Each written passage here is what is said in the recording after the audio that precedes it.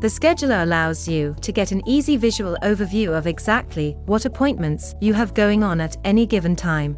This gives you the flexibility to schedule in new and existing appointments at the optimal time for your field workers. This video will cover calendar views, adding jobs on the scheduler, adding events on the scheduler, managing unscheduled jobs on the scheduler, and map views in Workever. Calendar views. Calendar views are flexible and give you the option to view jobs on a daily, weekly, or monthly view. You can also use the timeline view to view between 1 and 12 days at once. You can also specify the times you want to see. This comes in handy if, for example, your working day is 9 to 5 and you only want to see these hours. To move between the days, simply click and select a date, or the left and right arrows. To change the order of your field workers in the timeline, click the Settings button, which is at the top right. Once you're done, click Save. Adding jobs on the scheduler. You can add a new job on the scheduler by clicking the timeline at the point you would like your new job scheduled, and then click the New Job button. You can then fill in your job details. The scheduled date and time, and field worker will be added automatically, based on the time slot you've clicked on the scheduler timeline. Then click Save. You can also click Add Unscheduled Job when clicking the timeline. This will let you add a pending job onto the scheduler. Adding events on the scheduler. Events are great for adding things such as meetings, part collections, holidays, and much more. Adding events on the scheduler is similar to adding jobs.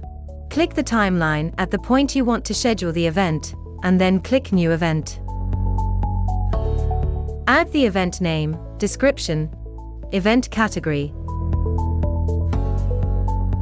or make it a recurring event if it happens on a regular basis. The field worker, as well as time and date will be added automatically based on the time slot you clicked on the scheduler. Once you're done, click Save. Managing unscheduled jobs on the scheduler. You can drag and drop unscheduled jobs from the Unscheduled Jobs section at the top of the screen onto a specific fieldworker's timeline. The job will be automatically assigned to that field worker once you've dropped it onto their timeline. You can also click on a job brick in the scheduler timeline and click Edit Job to edit the job details if needed. Once you've made changes, click Save. You can filter jobs by clicking the Filter button which will allow you to filter by customer, field worker, status, and much more. On the top right-hand side of the screen, you also have an option to hide the unscheduled jobs section, calendar, or the map. Map View Map View lets you see all of your jobs on the map, based on the location of the job. You can also see your field workers on the map if they are using the mobile app and have location tracking enabled. On the top left-hand side, you can zoom in and zoom out on the map, or center the map to your location. You can click the Show Unscheduled Jobs button to see unscheduled jobs on the map for help with scheduling. Clicking a job on the map lets you view the job's basic details. You can click the Edit Job button if you need to see full job details, or to edit the job.